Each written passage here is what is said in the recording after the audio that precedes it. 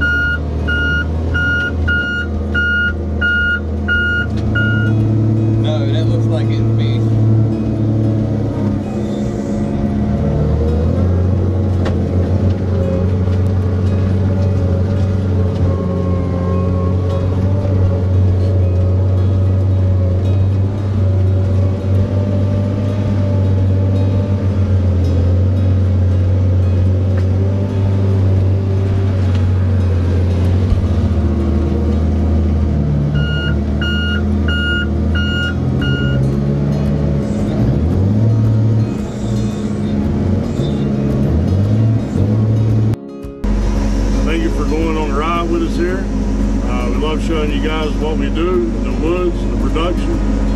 And uh, don't forget to uh, keep watching our videos. And don't forget also to hit the like and share button. I don't know if I've said a lot about it. The last Tiger Cat Feller Buncher we had, which we sold it, uh, it actually had a little less than 10,000 hours on it. And usually I don't sell nothing. You try to you know, put 30, 40,000 hours on it, it's more slap out. But that tractor there gave us a little bit of grief with the undercarriage. Uh, they had changed the rollers on it. They actually changed the whole uh, lower part of the machine and has, it's, it's usually so long in between our, me buying machines, it's probably seven, eight years, Now they didn't know they had changed it, which was my fault. But anyway, they had made it actually a smaller undercarriage, a little bit shorter, lower to the ground, and um, all the older machines had D6D rollers, which are larger diameter rollers than what this new one had. It had the uh, a small roller on it, which the track was, the pad was so close to the slide guard that it actually was cutting the pads in half. Um, normally we could run, we'll run two chains, and we usually get about anywhere from six to 8,000 hours out of a, the chain, and the pads will last, you know, two or three chains. Well, on, on that particular stomper, Feller Buncher, we uh, we run it about 65, 6,400 hours, and it had cut all the pads in half. I mean, we are out there with a you know 18 inch pad because it's been cut in half. Well, we ended up having to buy a whole new chain and pads, but anyway, I got to thinking about it, so I sold it. And uh, we bought the new truck that Simetreo's got now, which is an 855D, and it's got a D7 undercarriage, which I wish they would have done that a long time ago. That D7 undercarriage so far is doing great no issues with it. We changed the slides on it, and we had a visit from the uh, Tigercat engineers. And I have to say that's one thing that sets that company apart from everybody else. You know, they know they, they messed up a little bit on that last undercarriage. Well, I mean, this machine's got 2,000 hours. They got three units out right now. There's two of them in our area, and there's another one down in Georgia. And they actually send the engineers from Canada down here personally to, to look at it, put hands on, eyes on, talk to us about it. You know, is it doing good? Can we change anything? You know, and, and I've never had any other company to do that. And uh, they've, they've always been like that. That's how they got started. They spent two years going around the southeast talking to people about what they wanted in a tractor instead of somebody just making a tractor and say, no, this is what you need. They're not like that. So, but it's good for them to come out and it lets us talk to them. We can put a, a face and a name with the product. You know, we have issues with the undercarriage. I know who to call. I know what he looks like. I've talked to him. But uh, so it was a good visit, and uh, I'm glad he came out. Hi, my name's uh, Bruce Vale. I work for Tigercat Equipment. We, uh, I work in the 800 uh, series track group, and my uh, objective of being here is to look at the undercarriage here today, and that's the part of the machine I'm most involved with. Uh, we're interviewing Bobby and, and, talking to him about this undercarriage. It's a, a, relatively new product for us, and we're seeing how the uh, what the wear patterns are on the uh, chain and, and uh, uh, shoe shoes as well, uh, as well as the performance of the machine. So. In speaking with him, it's gone quite well, and he's quite happy with it. And we're just trying to figure out what we do next to make further improvements. That's part of the uh, Tigercat story is getting our engineers out into the uh, field and having a look and seeing what really happens here. So that's what we're here for.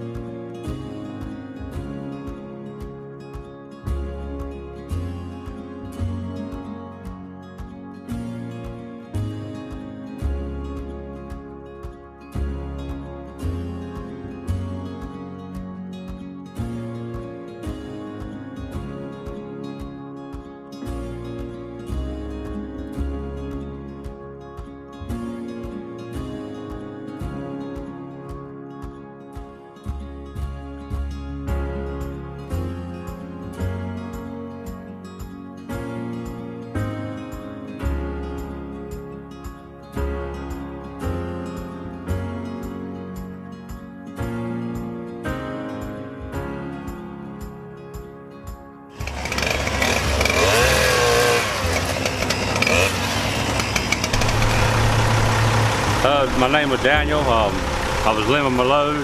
Uh, chain come off the saw. Abraham gonna be upset with me about that, but he'll be all right.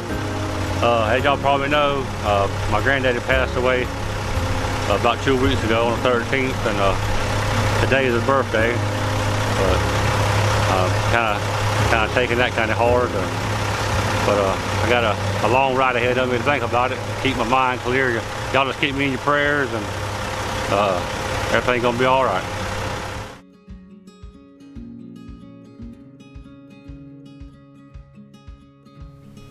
Good afternoon, guys. We're out here on the Oceanic track, and uh, I know in some earlier videos we had talked about the history of this track and the Marshall family logging it.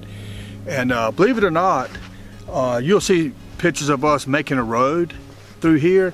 And actually what we're following is the old tram road. And I'm, I'm guessing when they say that, they're meaning it's the old railroad track where they had the little steam donkeys or whatever them things are, like a little railroad cart train. It's not like a full gauge track. It's a little narrow track that they put right through the middle of the woods. And that's what we're actually following through here. And um, it actually is going to tie back in out to Canetuck Road if we can ever get through there. It's just uh, a long, slow process.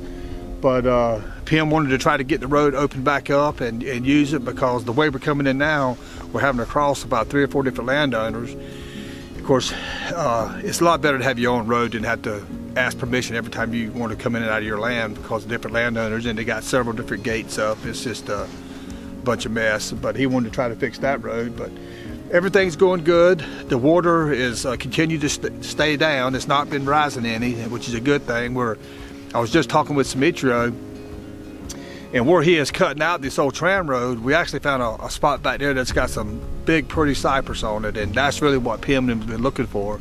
That's the money tree out here for us anyway. And uh, the equipment's doing good. I think Justin had a little minor hiccup with his loader today. He had a he busted a hose, and apparently when he changed the hose, he must have overlooked tightening the fitting all the way up, and he was loading the truck, and I was talking to him on the phone, and he kept saying that he had something leaking, and he had to stop to get out, and he found it. It was just the fitting wasn't tight. So he got that done, and uh, everything's doing good. I think we ended up with, uh, I think it was uh, 89 loads this week or something like that. Um, we're getting back up there. If we can get a few more trucks in here, you know, we could get 100 like we used to, because you can see it's Friday afternoon. We got 11 trailers out there loaded, ready to go to Georgetown, and we probably got another six or seven loads right here. And uh, but hopefully we can get another truck out here. We got a new guy that's helping us, uh, Robinson Farms, and he's really been a, a big help to us because he's got a bunch of trucks and they'll come in here and get loads whenever they can. So that's been a big help to us. But uh, we'll keep you posted. I head out head to the bank now, see can we get this little check cash and head on home for the weekend. Back out here Monday. Yep, it'll be another week like this week. It's been, nice a good, and sunny. it's been a good week so far. No rain. No rain out here the water gone The down. water going down. Try to get it easy for us, you know. I was tired of working the deep water. I, I know you were, man. And then uh, with this sun like this, when the sun is in the water, Mm-hmm. of like you, blind you to you death. working the glass. Good God, that, all morning that sun been killing me. It's killing my eyes. It's killing my eyes. Glad Yeah. we can finish with this week. Maybe next week be a different week. I hope so, man. Hope the water don't rise man. I don't want to. I don't want to hear. I don't want to hear that. No, I don't want to hear that. You know, you can you can work it. I can work in a wetland. That don't matter how wet it is. But with deep water, Can't- nothing you can do about it hell yeah. because the the the material we're using, the trees flow. Mm-hmm. You know, and, and, and so you cannot work in the water because when the water get hot, you put a tree and the tree just moving away, and then you cannot keep the road together. And just wet and, and there's no water. I don't care how wet it is, you know, I, I can get it. Mhm. But it's like this with water, Mess you up. messing my head up. I think about it, how I gonna do it. You know? Mm-hmm. uh, it's a lot of more work. It's a lot of more work for everybody. Then you got to roll the tracks over there too, Yeah. to keep the road together. You know, that is not piece of cake.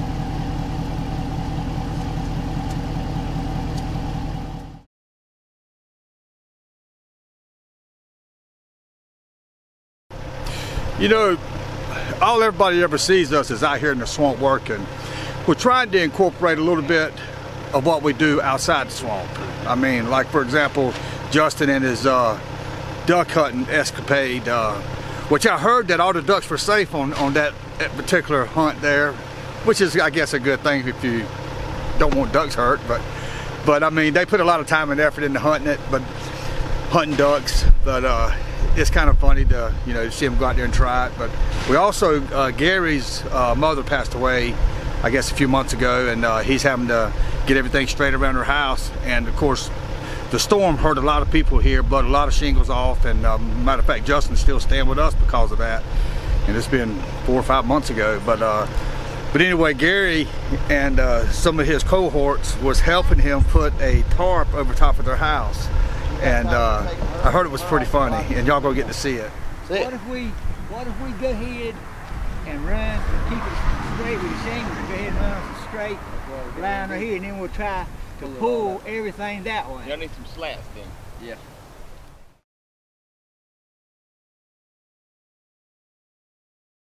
Nail get in there. Where'd the hammers go? I had it a while ago. I'll tell you what, y'all some. It, ain't, it can't be too far. It might be under the tar. I wouldn't doubt it. I wouldn't doubt it either. Oh boy. No, me. Did you find it? I knew he was a truck No. driver. 'cause he had one of them earpieces on. It might went over the side here. I got out of the logwoods. I couldn't con Gary into going with me though. I know it Bruno. didn't walk off. You make her fall. Somebody got it in the pot. And you're welcome to my world. It might have went over the side. I looked over there. I didn't see it. Put, put it down there with screws, DJ. I might have to leave nails sticking up. Um, there's a hammer in my truck. Hang on. Let me get. That's one of those things I can't explain. No, it ain't down there. It's falling somewhere. EJ, it's right there at your foot. No, That's the one I you just put brought there. up here. Lord have mercy. It ain't under here. It'll show it one day. Yeah, it's up under there, probably. It's up under there somewhere. He even fell all up there at the front and he didn't find it. You don't see it, North? Nope. He just rode legs and walked off like my bear charge used to, but it always ended up at my brother's house. I, I had where that happened. they, they tried to put it on the old man. He's sitting here on top of the hammer up under the tarp. The hammer y'all lost? yeah, the- he's sitting on it. Gary. I can't let y'all blame that on Gary. Y'all trying to. I just know you're gonna like the view shop out, and I don't believe it. Never tell you. I tied myself up in the top of the tree and he pulled top.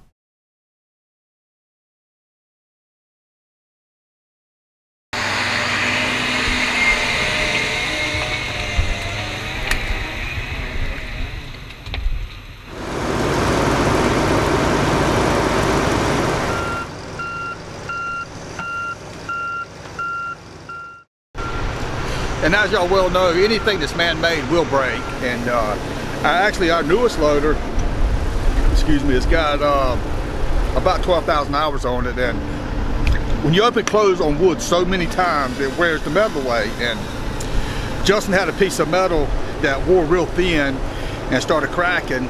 And he got down there. He didn't know it was as bad as it was. And he got it there and weathered it up the best he could.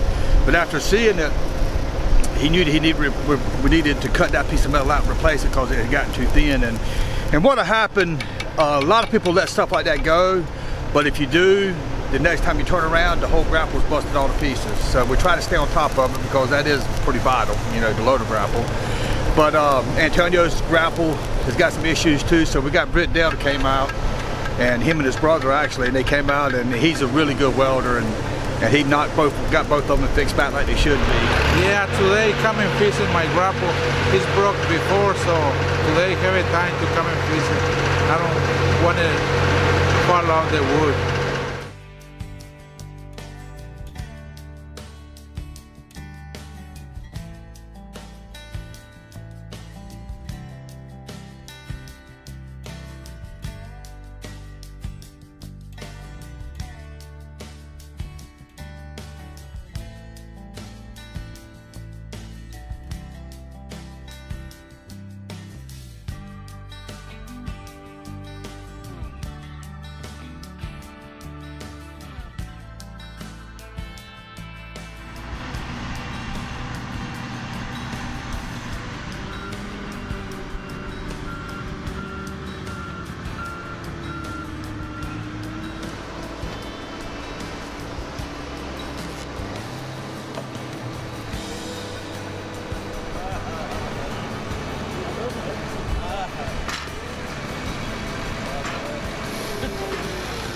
It's Friday today and the Friday working till 4 o'clock.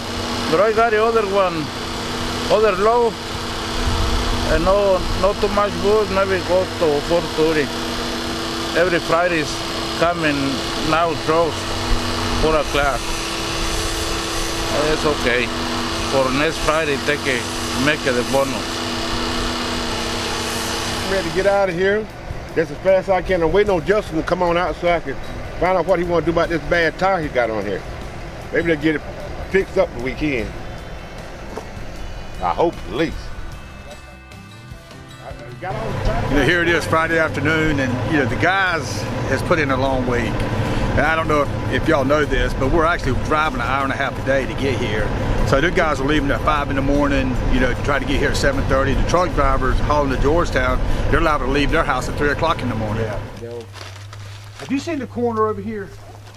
No, the corner is uh, it's straight back over there. Not very far though. No, it's not far away. Because I, when I walked from where that road is on the other side of them pines, I walked down because it comes down in the corners and goes that way. Mm-hmm. And it's hard to tell on the map, but don't, I don't think it's that far over there to that corner. No, it's not not far away. It's it's uh It's on this hill here though, right? right where I was cutting this today. Uh-huh. Cross, you can see the corner right cross. So like right cross to there. It's on that hill there though, right? No, it's, it's back over there. On this pine hill. Yeah, here? it's back That over. corner. Because they corner looking um, put it straight. This one, this corner is that's, that's Bobby over might here. have This his side. phone turned the wrong way. That's where they have the little. Bobby got his phone turned the wrong damn way. Yeah. So when Friday comes, everybody's tired and everybody's ready to go. And uh, of course, Justin's back on the shovel, and Darley's having to wait for him to come out. So everybody's kind of anxious to get out of here. But you know, you can't blame them. I've got one of the best crews out that I know of. Uh, wouldn't trade for nobody. Truck drivers too. I mean, you know, just a good bunch of guys, and they work hard. But on Friday, everybody's tired and they're ready to go home, cash the checks, and have a little fun. And I can't blame them for that unfortunately, uh, you know, the water's gone down, but we lost a man. I guess these YouTube videos is good in one aspect and bad in another because uh, I got somebody to hijack one of my guys off the YouTube videos and uh, it's Sam, a shovel guy, and uh, he's going to test waters elsewhere, which, you know, he's a good guy. I've been knowing him ever since he's a little boy. Been knowing his dad forever. But uh, sometimes they think the grass is green on the other side, so sometimes they got to go see. But it's got me and Justin. I've got I'm actually in the loader now. and I got Justin on the shovel, so uh, we have got a, a full crew. I mean, this uh, if anybody lays out, we're in trouble. we got everybody maxed out right now, but uh, we're doing fine. We happen to be on a long pool right now, and we brought out the beast, the clam bunk, and as luck would have it, we hadn't needed it in about four or five months. So I figured we was gonna need it here. We bring it out here and something happened to it. It's, it's chugging real bad. It's black smoke just boils out of it. And I've been calling around talking to different people. Of course, everybody's got different antidotes to fix it. But uh, the, the last one that I, that I got made more sense than any of them. There is a little, um, I can't remember what they call it like a compensator valve that's on the back of the fuel pump and it, it meters the fuel going in it and apparently it's stuck wide open because that's what it looks like it's just dumping fuel in there. So I've got to run to Conway to um, Tidewater and get it, get one of those valves and put on and hopefully that'll fix that. And uh, if we get that thing running um, they'll have enough wood out here to run both both loaders. Right now we're just waiting on wood and uh, but I'm gonna run and try to get that part get back here as quick as I can get that thing running and uh, we'll see what happens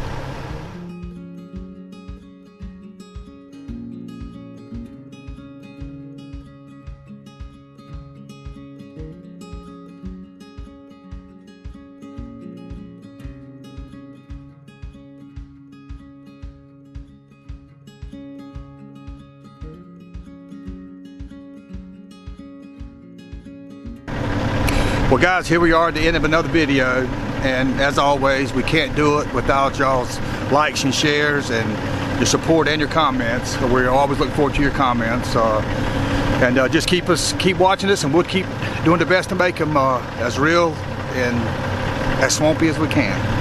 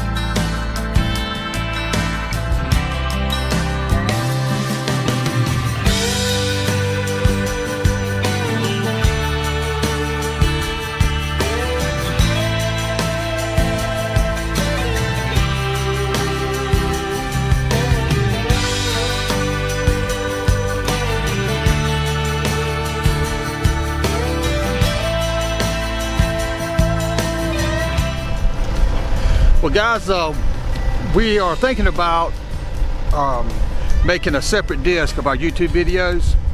And, you know, if y'all interested in them, you can buy them. And we're actually going to have a lot of bonus footage in there. We're going to have, you know, gag reels and just all kind of stuff that's never been seen before. And it, they'll be without interruption. So uh, if anybody's interested in that, just leave us a comment. And, uh, and we're thinking about doing that. And, and if y'all want it, we'll do it. Thank y'all.